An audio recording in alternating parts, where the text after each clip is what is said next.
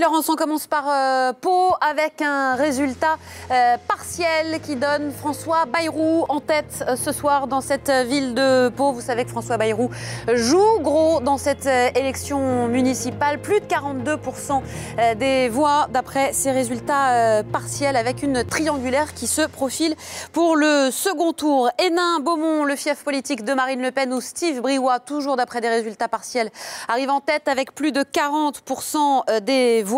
Épinal avec euh, Michel Heinrich de l'Union de la droite et de l'UMP qui est réélu dès ce soir avec euh, plus de 58% des voix. Réélu euh, dès le premier tour également Gérard Trémège, le candidat de l'UMP à Tarbes avec près de 53%. Et puis un résultat intéressant, celui de Villeneuve-sur-Lot. Vous savez, c'est l'ancienne ville de Jérôme Cahuzac. Là, cinq candidats sont qualifiés pour dimanche euh, prochain. C'est le PS qui est en tête avec 28% et le FN qui le talonne avec 26%.